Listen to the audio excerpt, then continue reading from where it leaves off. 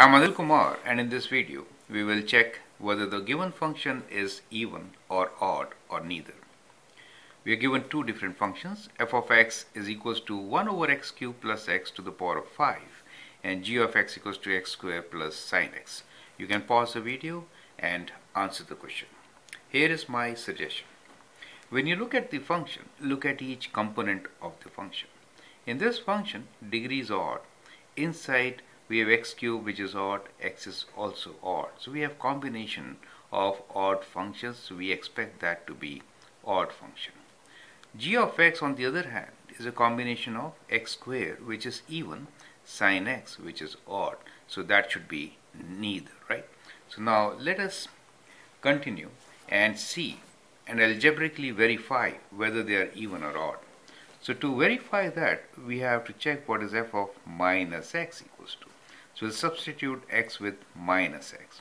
So what we get here is 1 over, we can write this as minus x whole cube plus minus x to the power of 5. Now that is equals to, within bracket, we know that minus when cube will give us minus. We get minus x cube here and on the other hand we get minus x. Everything to the power of 5. Now minus could be taken common and then we could write this as minus 1 and we could write the denominator as x cubed plus x to the power of 5. Now negative 1 to the power of 5 will give us negative 1 correct? So we get negative outside and we get 1 over x cubed plus x to the power of 5. Now this is indeed negative of the given function. So we write this as equal to, let me write it here, minus f of x.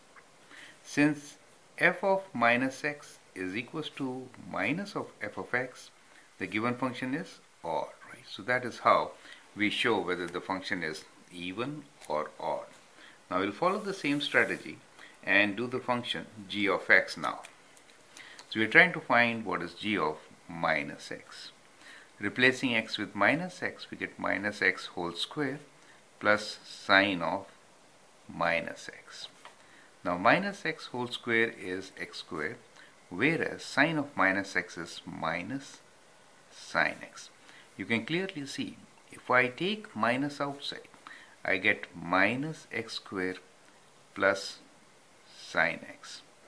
Now this is neither equals to g of x nor is it equals to minus of g of x and therefore we say this function is neither. However, if I replace sine x with cosine x, let us say we have a function h of x equals to x square plus cosine x, then this function will be even, correct? Since both the components here or terms here are even in nature. When you add two even, terms, then you get even function.